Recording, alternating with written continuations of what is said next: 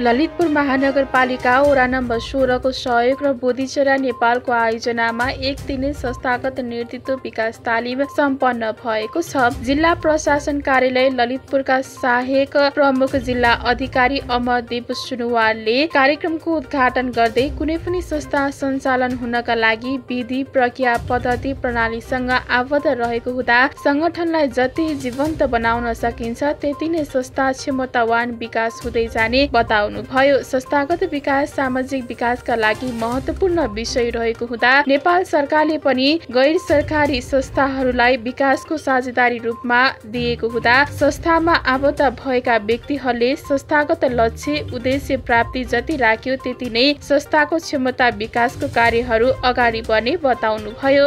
र अर्को कुरा प्रोसेसका कुरा। अघि नै भनियो विधि विधान हाम्रो विधानले हाम्रो कार्यविधिले मापदण्डले हाम्रो आचार संहिताले जे भनेको छ यो कुरालाई हामीले मानेर अगाडि गयौँ भने सिस्टमलाई बलियो बनाएर गयो भने जुनसुकै संस्था होस् चाहे त्यो बोधिचर्या नेपाल होस् चाहे त्यो होइन जिल्ला प्रशासन कार्यालय होस् अथवा जुनसुकै प्रकारको संस्था त्यो अगाडि बढ्न सक्छ हामीले त्यसरी लानुपर्ने हुन्छ।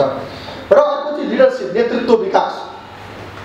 संस्थागत विकास र नेतृत्व विकासको बिचमा के सम्बन्ध छ? यो स्ट्राटेजिक डेभलपमेन्ट र अर्को चाहिँ अरे इन्स्टिट्युसनल डेभलपमेन्ट संस्थागत विकासलाई हामी इन्स्टिट्युसनल डेभलपमेन्ट भन्छौँ र लिडरसिप डेभलपमेन्ट नेतृत्व विकास भन्छौँ। यो दुईवटाको बिचमा के सम्बन्ध छ भनौँ भने जस्तो इन्स्टिट्युसनल इन्स्टिट्युसन भनेको सम्पूर्ण बोधिचर्या नेपालको कुरा हो र अर्को लिडरसिप भनेको चाहिँ यसको अध्यक्ष। हाम्रो अहिले आजको अध्यक्षता ग्रहण गर्दै हुनुहुन्छ हाम्रो साकेजीले। उहाँको लिडरसिप कस्तो छ?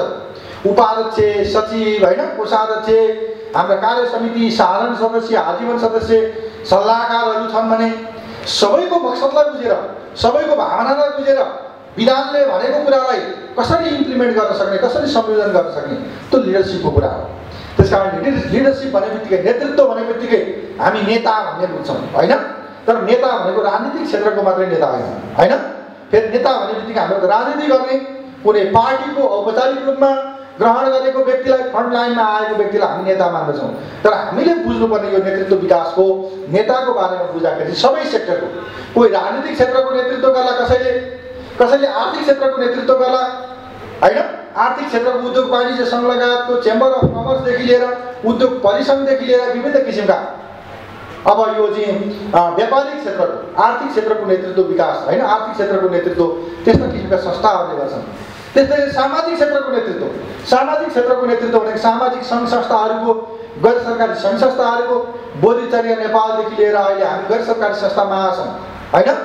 विभिन्न किसिमका जातीय सङ्घ संस्थाहरूको महासङ्घ हामीले बुझ्ने गरेका छौँ सुन्ने गरेका छौँ देखेका छौँ अनुभव गरेका छौँ यिनीहरूको संस्थागत विकास। त्यस्तै गरेर अर्को प्रशासनिक नेतृत्व भन्ने हुन्छ। प्रशासनिक नेतृत्व भनेको प्रशासनिक कर्मचारीहरूले गर्ने नेतृत्व होइन। मुख्य सचिव त्यस्तै होला नेपाली सेनाको प्रधान सेनापति होला नेपाल प्रहरीको होइन प्रहरी महानिरीक्षक होला। त्यस कारणले विभिन्न किसिमको नेतृत्व त्यस कारणले त्यो ठुलो ठुलो नेतृत्व एपेक्सको मात्र होइन तपाईँ हाम्रो टोल विकासको नेतृत्वदेखि हाम्रो घरको नेतृत्वदेखि घरमा विभिन्न किसिमका समस्या आउँछन् विषयहरू आउँछन्। ती विषयलाई ती समस्यालाई कसरी बैठान गर्ने कसरी व्यवस्थापन गर्ने कसरी व्यवस्थित पारेर लैजाने? घरमा विभिन्न समस्याहरू आउँछन्। ती समस्यालाई कसरी समाधान गर्ने? त्यो नै नेतृत्व त्यस कारणले नेतृत्व विकास भनेको चाहिँ हाम्रो घरदेखि हाम्रो व्यक्तिगत जीवनदेखि होइन घरदेखि समाज समाजदेखि टोल टोल हुँदै पालिका हुँदै होइन हाम्रो राष्ट्रिय स्तरसम्म राष्ट्रिय स्तरदेखि अन्तर्राष्ट्रिय स्तरसम्म। अहिले त नेपालको मात्र नेतृत्व गरेर भएन युएनको महासचिव होइन? ललितपुर महानगरपालिका वडा नम्बर सोह्रका वडा अध्यक्ष निर्मल साकेले संस्थागत र नेतृत्व विकास विषयमा परिवर्तनको आवश्यक रहेको हुँदा संस्थागत नेतृत्व विकास तालिम सञ्चालन गरेको बताउनुभयो। उनले भने संस्कृति सम्पदा संरक्षण विषयमा व्यक्तिको नेतृत्व विकासको आवश्यक रहेको औलाउँदै कुनै पनि संस्था सञ्चालन गर्नका लागि संस्थाको विधिगत प्रक्रियाहरूको ज्ञान हुनका लागि आवश्यक रहेको बताए। विशेष गरेर युवा अवस्थामा नै त्यही कुराहरू हामीले एउटा संस्कृति हाम्रो सम्पदा हाम्रो संरक्षणको विषयमा प्रगतिको विषयमा जुनसुकै कुरा गर्दाखेरि व्यक्तित्वको कुरा आउँछ नेतृत्वको कुरा आउँछ। त्यसकारण चाहिँ नेतृत्व विकास आवश्यकता छ। त्यस्तै गरी हामी हरेक टोल गाउँ ठाउँमा संस्थाहरू सञ्चालन गरिरहेका हुन्छौँ। त्यस्तो सञ्चालनको विधि र प्रक्रियाहरू पनि हामीले जान्न आवश्यक हुन्छ र संस्था चलाउने तरिका र त्यसमा नेतृत्व लिने तरिका र क्षमताको कुराहरू आउँछ। त्यो कुराहरूलाई संयोजन गर्न सकिने गरी एउटा हामीले पछिले पछि हामी चाहिँ त्यसबाट चाहिँ यो नेतृत्व लिन सक्ने गरी हाम्रो क्षमताको विकास होस् भन्ने आशयले युवा अवस्थामा अहिले नै हामीले संस्थागत रूपमा कार्य गर्दाखेरि गर्नुपर्ने कुराहरूको जानकार दिने उद्देश्यले हुने उद्देश्यले यो कार्यक्रम भइरहेको छ। यो अति नै महत्त्वपूर्ण छ। जसले पछि हामीलाई एउटा संस्थाको विकास साथै आफ्नो पनि नेतृत्व विकासको कुरामा यसले अवश्य पनि सहयोग पुर्याउँछ त्यसैले हामीले यो विभिन्न कार्यक्रम ललितपुर महानगरपालिका सोह्र वडाबाट गर्दै आएको कुराहरू यहाँहरूलाई पनि जानकार होला। सोह्र वडामा पनि आफैमै एउटा ठुलो सङ्ख्यामा रहेको युवा समिति गठन गरिएको छ जहाँ हाम्रो विभिन्न नेतृत्व तालिमको विकासको सँगसँगै हामीले विभिन्न सामाजिक क्षेत्रमा युवाहरूलाई एउटा सामाजिक उत्तरदायित्व बोर्ड हुने किसिमको स असल र सबै व्यवहार व्यवहारको लागि हामीले विभिन्न ट्रेनिङहरू हामी दिँदै आइरहेका छौँ। त्यस सँगसँगै यसमा पनि आज विभिन्न संस्थासँग पनि समन्वय गरेर हामी विभिन्न समुदायहरूमा संस्थाहरूमा समन्वय गर्दै र राम्रो एउटा सम्बन्ध सुधार गर्दै एउटा राम्रो समाजको सिर्जना र निर्माण गर्नुको लागि हामी केही गर्नुपर्छ भन्ने एउटा स्थानीय तहबाट गर्नुपर्ने आवश्यकताको कुराहरूलाई मध्यनजर गर्दै हामीले विभिन्न संस्थाहरूसँग समन्वय गर्दै कार्य अगाडि बढाउने कुराहरू बढाउँदै आएको कुराहरू यहाँहरू समस्या जानकारी गराउन चाहन्छु। आज हामीले यो बोटोचरी नेपालसँग पनि एउटा ठुलै एउटा पछिसम्म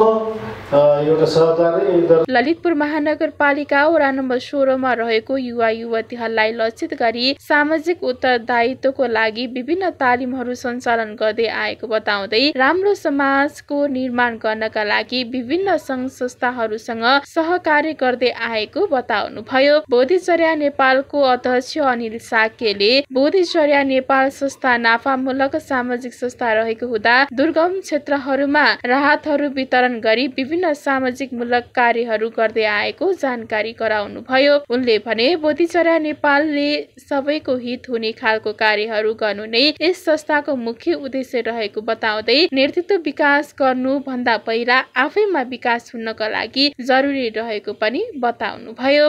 बिजनेस थ्रु अनलाइन भनेर चाहिँ तरमाट्रीसँग समन्वय गरेर बौद्धमा कार्यक्रम गऱ्यौँ भने दोस्रोमा हामीले सिद्धि साधना साइकोसाइबरनेटिक्सको कार्यक्रम गऱ्यौँ।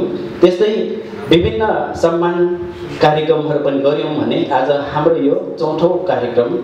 यसको लागि वडा नम्बर सोह्रको साथ र सहयोगले हामीले यो गर्न सक्यौँ।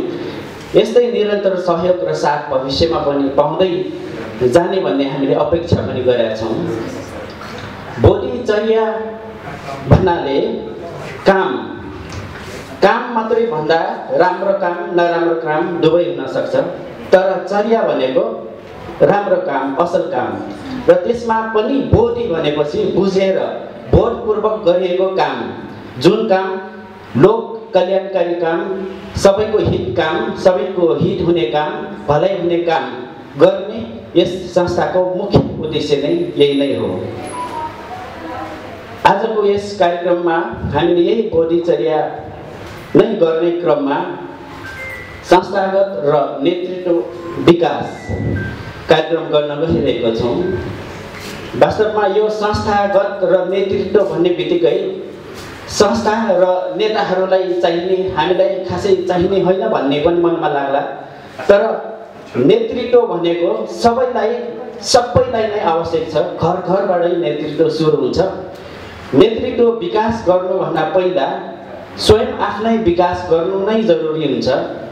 आफ्नो सोचमा विकास आफ्नो विचारमा विकास आफ्नो लक्ष्य आफ्नो भिजन यो सबै यो नेतृत्व विकास कार्यक्रममा प्रशिक्षकहरूज्यूबाट आउँछ। अझ बेसी हामीले धेरै कुराहरू थाहा पाउनेछौँ भन्ने मैले आशा गरेका छौँ। यति भन्दै म योभन्दा बेसी नबोलौँ बरु ती ट्रेनरहरू स्रोत व्यक्ति हामी धेरै कुरा सिक्नु छ संस्थागत नेतृत्व विकास तालिममा नेपाल आदिवासी पत्रकार महासङ्घको उपाध्यक्ष अमर लामा र अनिता डङ्गुलले प्रशिक्षण दिएका थिए। संस्थागत नेतृत्व विकास तालिममा सोह्रवटाका सदस्य बबिता श्रेष्ठ पञ्च बज्रसारे वडा सचिव मदन महर्जन सुनिल महर्जन लगायत अन्य विशिष्ट व्यक्तिहरूको उपस्थिति रहे रहेको थियो।